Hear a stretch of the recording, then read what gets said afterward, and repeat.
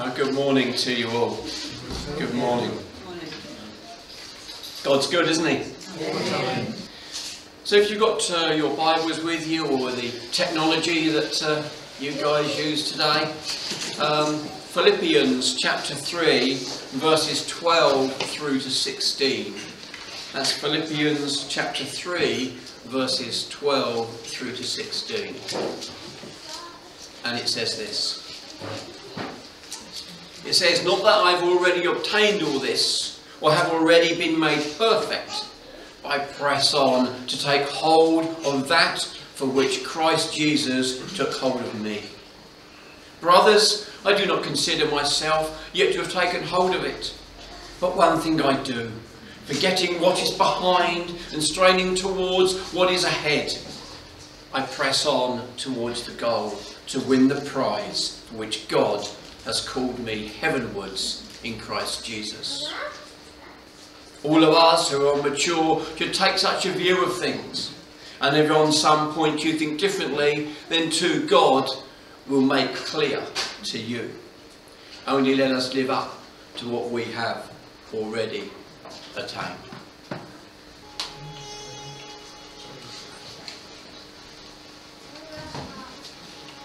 The athletics match had reached a critical stage. And one of the final races was left to be run. The 440 yards. And the athletes, they were bunched together as they came to the first bend. And one of them was pushed over and he fell off the track. And his name was Eric Liddell. But as quick as a flash, he was back on his feet. And as though he was electrically charged, he caught the other runners up. And then he went on to win the race. And the race was a famous victory. And it featured in the movie Chariots of Fire.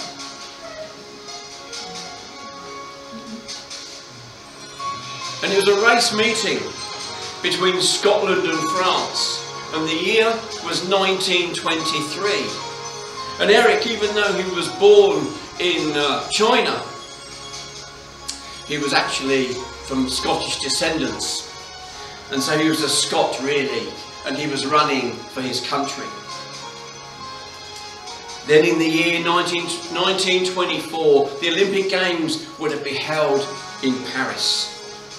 And Eric, he was chosen to run for Great Britain. Now, Eric, he was a Christian. He was a God-fearing man.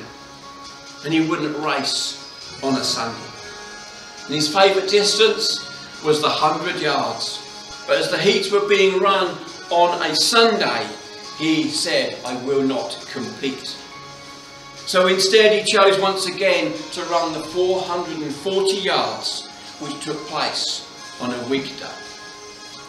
Which incidentally, he then went on to win and to win an Olympic medal. Then after his victory in the Olympics, he went back again to be a missionary once more in China, where he stayed until his death in 1945. But let's just go back, shall we, to the event meeting in Scotland, which was Scotland v France. What would most of us have done at that event had we fallen like he did? I think that we would have accepted, don't you, that our race was over and that we wasn't going to win. But not Eric Liddell. It was as though he'd been reading this passage that we just read. Forgets what's behind, strain every nerve to go after what's ahead and chase on towards the finishing line.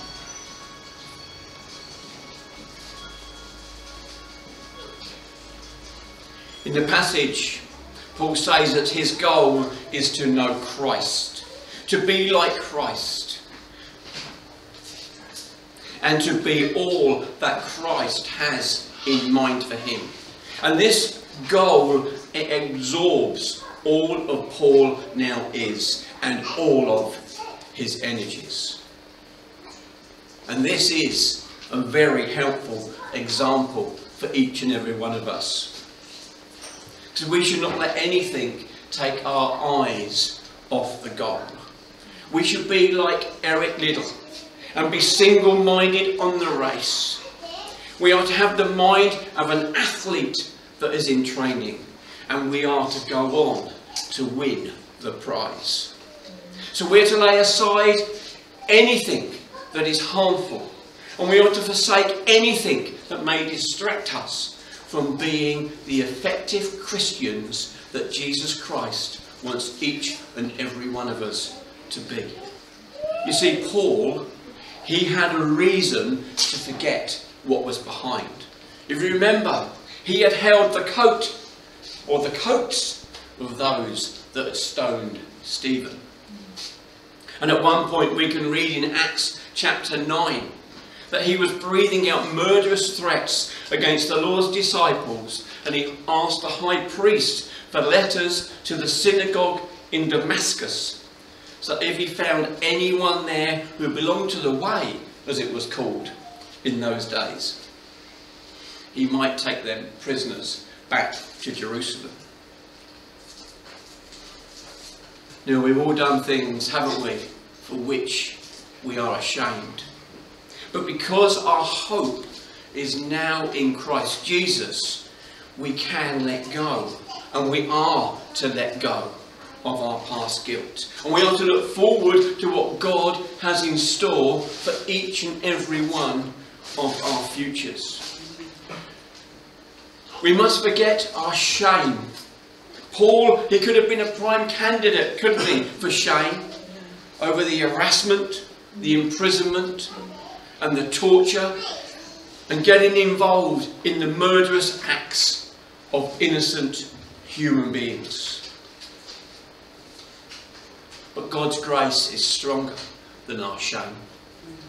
It was defanged when Jesus died and then he rose again. We've just celebrated that, haven't we? And we can forget our slithering shame, for Jesus took it. He scorned it, he beat it, right here.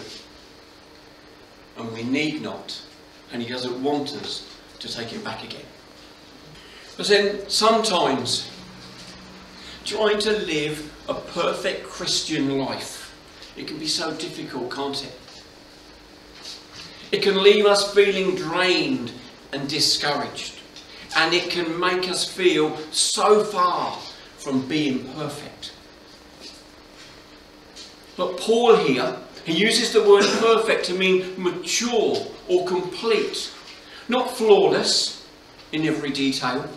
He means that those who are mature should press on in the Holy Spirit's power, knowing that Jesus will reveal and fill in any discrepancy between what we are and what we should be. Christian maturity involves acting on the guidance that you have already received. We can always make excuses, can't we? We all have so much that we all need to learn. And we can all so easily get ourselves sidetracked, knocked off the track if you like. But the instruction is for us to live up to what we already know. What God has already taught us and live out what we have already learned. Now, Paul several times uses this image in his letters of a race. It was an image that would have been very familiar to the Greeks and the Romans who prized athletic prowess and chariot racing. Every major town, in fact, would have had a stadium which athletes would have competed against one another. And the winner of the race, he would have been given a prize. And it have been a laurel crown that he had had on his head. And sometimes there even was cash rewards as well for the winner. And for Christians, the finishing line means heaven. And the prize means eternal life with Jesus Christ. Amen. But But like all athletes, we must keep, and Jesus wants us to, keep on training, keep on learning, keep on striving to make every performance the best performance that we can for Jesus. In Galatians chapter 5 and verse 3, Paul says there, he says, You are running a good race. Who cut in on you and kept you from obeying the truth? And then he goes on to say, Little yeast works through the whole batch of dough. So let me ask you this morning, those watching online, do you have a reoccurring temptation that is difficult to resist? If so, remove yourself physically from any situation that stimulates your desire to sin. Knowing when to run is as important in a spiritual battle as knowing when and how to fight. Running away is sometimes considered cowardly, isn't it? But wise people they realise that removing themselves physically from temptation often can be the most courageous action that they can take. In 1 Timothy chapter 6 and verse 11, Paul is speaking there and he's speaking to Timothy and he's speaking to him about money. And he says this to Timothy. He says, You man of God. I love that. Man of God. You man of God, flee from all this and pursue righteousness, godliness, faith, love, endurance, and gentleness. Fight the good fight of the faith. So, why have I told you all of this this morning? It's because you've come a long way. and God, He doesn't want you to forget that. He doesn't want you to forget the race that you've been running. And He most definitely doesn't want you to give up on your race now. Of course, we're to look back on our lives and we're to reflect on the milestones that have brought us to where each and every one of us is today. They're important, aren't they? They are pillars that have helped to shape us into what each and every one of us is today. But like Paul, our focus isn't to be on our past. He says that whatever were gains to me, I now consider loss for the sake of Christ. But sometimes, before we look forward, it is good just to take a glance over our shoulder and look back. Especially when we're looking at what God has done in each and every one of our lives then we can see our future in Him far more clearly. Both as individuals, we can do this, and also as a body of the church. So, having just said all of that, let's just take a very quick look back, shall we, at what God has done with this church over the last 12 months. In fact, we've spoken a lot, haven't we, over the last couple of years about the Lord doing a new thing here at Living Water Church. And it's been exciting, hasn't it, to see what God has been doing during that time. As I've just said, I believe that God would say, You've come a long way. And He has enhanced the faith of the believers within this church. And he's encouraged individuals to step up into doing things that they never dreamt that they would or be possible. We can all hold our hands to that one, can't we? New people have come into the fold of this church. People who are already Christians and they've just moved into this area. And people who have come to Christ, who have lived here for many years, have now come and joined and become part of this flock. So, as well as having the amazing privilege of people being saved, we've had baptisms, and they've been amazing and incredible. We've done them over in the Mediterranean over there. the best bathtub going. Just not at the moment. And we've seen amazing healings, and we've heard of amazing healings, all of which we thank God for. So we have seen growth, not only in new people coming to Christ, but great growth in seeing individuals growing and maturing in Jesus Christ Himself. And one of the major things that we did, I believe, was having the prayer and fasting day here each and every first Wednesday of the month. And it gave us a real focus, I believe, on God. And it, it helped us to say, God, we're serious here. We mean this. It said that we have really want to hear from you, Jesus Christ, and we really want as a church to do your will. We want your direction over this house and over its people, the church. And many people have joined in with this, whether they live here in Spain or back in the UK, or whichever home country you might be in. And because of it, we have seen God move. So I want to say a big thank you to everyone who got involved with doing that through this year. Thank you. You see, God, He has moved within individual lives by encouraging people to step up and to believe that He is able. He has moved with people bringing prophetic words. We've had many prophetic words that come over this church. We want that to continue.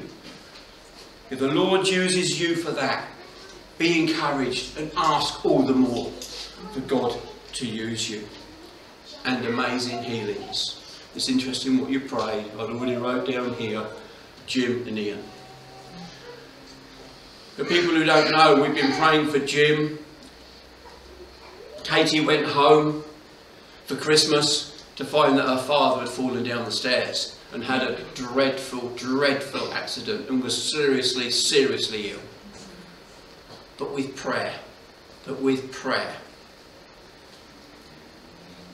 Yeah, it's wonderful what the doctors and nurses can do, but let's remember God's put them in place. So the wonderful people that have taken care of him. Jim is coming out of the woods, isn't he? He's got a long way to go, but he's coming out of the woods. Man of God. A man of God. And then with Ian. I personally don't know Ian, but I've seen what we've been discussing about him through the WhatsApp app that we have. But Ian really was at a place where we really felt there's no way forward really for this guy other than heaven.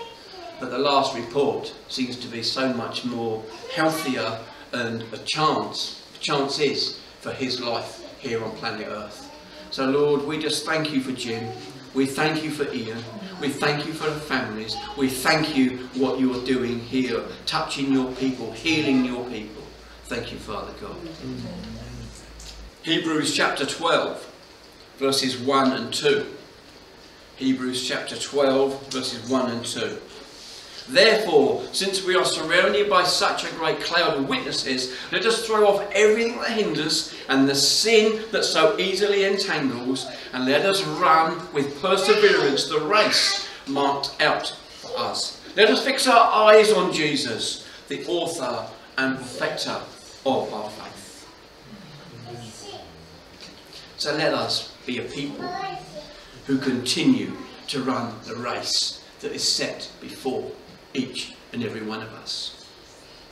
You see, because we all have such a massive part to play. I've said this so many times before, it's not the chosen few, it's each and every person has a massive part to play. As together, as the body of Christ, we see this church grow, both spiritually as well as numerically. So let's be prepared to step it up again this year, together as a family of God but don't let's rush ahead. Let's just do it one step at a time, in tune where Jesus wants us to be and to go.